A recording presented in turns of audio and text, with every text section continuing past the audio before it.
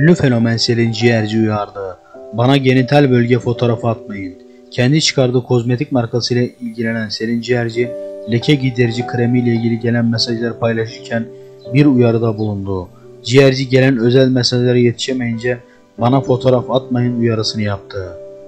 Selin Ciğerci uyarısında bana genital bölge fotoğrafı atmayın. Sadece ben bakmıyorum. Ekibimden bakanlar oluyor. Kışın böyle şeyler oldu başımıza geldi. Onlar beni uyardı. O yüzden ne olur atmayın. Fotoğrafa gerek yok dedi. Lütfen siz de görüşlerinizi yorum kısmında belirtmeyi unutmayın.